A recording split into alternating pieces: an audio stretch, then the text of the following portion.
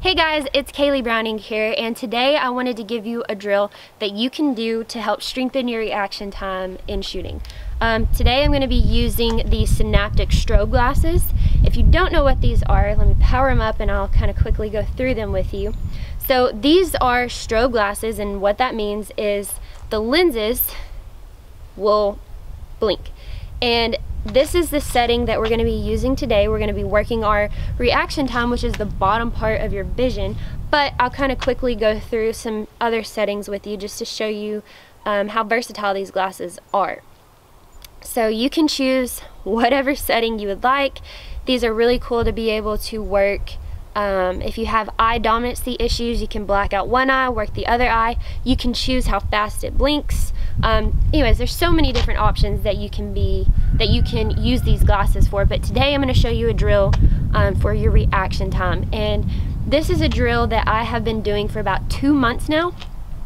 And it's really just to kind of keep everything fine-tuned while you're while you're in the off season. If the weather's bad and you can't quite shoot as much as you want to shoot, these are a great way to be able to keep everything in shape. So what you're going to do is put it on this setting right here where the top part is blacked out and the bottom part is blinking. Put your glasses on.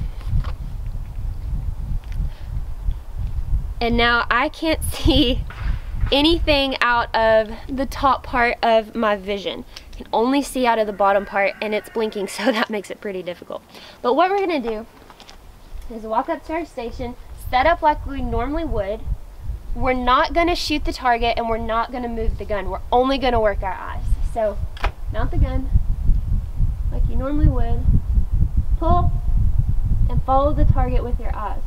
One more time. Pull.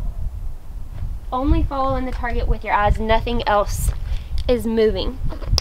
Now the purpose behind this drill is I want my eyes to be as accurate as possible and as aggressive as possible. So when I call pull, what I'm working on is reading what that target is doing.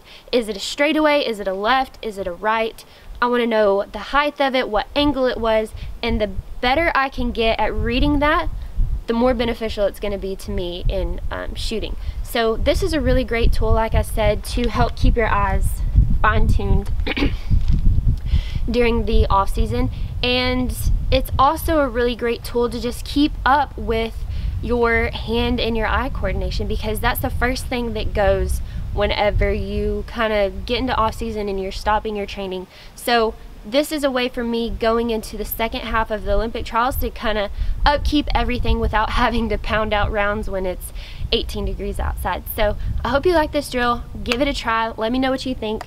Go check out these glasses because they are a lifesaver. Thanks for watching.